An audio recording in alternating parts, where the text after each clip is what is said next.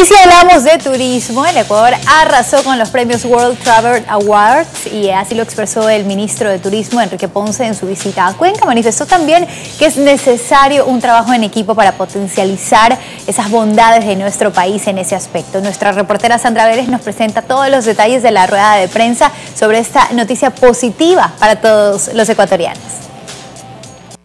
El ministro de Turismo, Enrique Ponce, visitó Cuenca con el fin de celebrar con la ciudad los varios premios que el Ecuador ganó en un certamen internacional de turismo. Nuestro país ser nominado a 26 galardones y de los 26 ganar 14 creo que es barrer con todo, ¿no?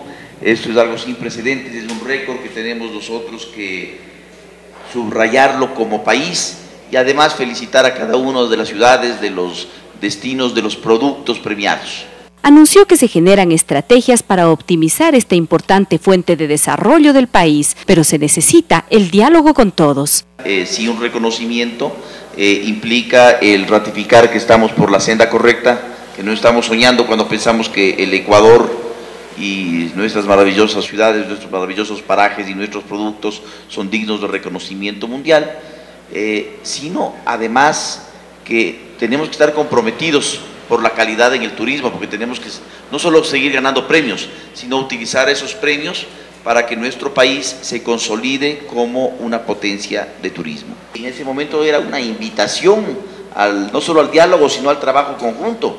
Grandes logros y mucho que hacer en un país que es una joya turística que aún hay que pulir.